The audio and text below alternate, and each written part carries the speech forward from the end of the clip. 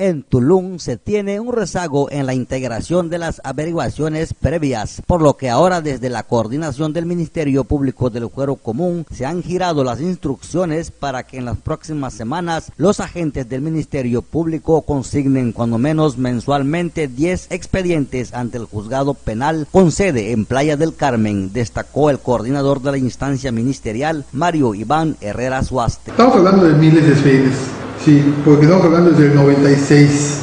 Hay experiencias del 96, son poquitos, 96, 97, 98, 99, ya son pocos.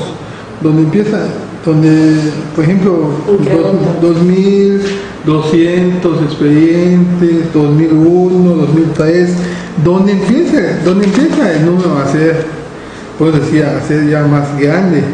Es, es por ejemplo en los años 2006 que ese en, esa, en esa fecha llegaban hasta 800 expedientes. 2007 también 800 y fracción. 2009, 2010 ya, ya llegaban a los 900 expedientes. Y 2011 pensamos que va a regresar a 2000 por primera ocasión.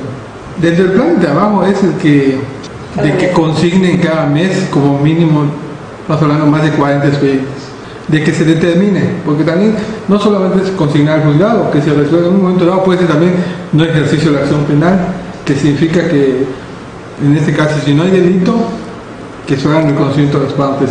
Herrera Suaste también advirtió que la ley se aplicará por igual, tan es así que ha girado instrucciones a los responsables de las unidades ministeriales para que les den actividad a esas averiguaciones en contra de funcionarios municipales y para que no las tengan ahí paralizadas. Igual no importa quién sea, ya les comenté, no importa que sea un funcionario federal, municipal, estatal o pues alguien de recursos económicos. No, aquí vamos a tratar de, vamos a hacer que todo, que se proceda conforme a. El coordinador del Ministerio Público del Fuero Común admitió que hay enormes rezagos que datan desde el año 2007 que no han sido consignadas. Además señaló que al revisar las averiguaciones previas se percató que algunos expedientes todavía están pendientes a realizar algunas diligencias. Con imágenes de Orlando Esquivel, Francisco Canul, Notivisión.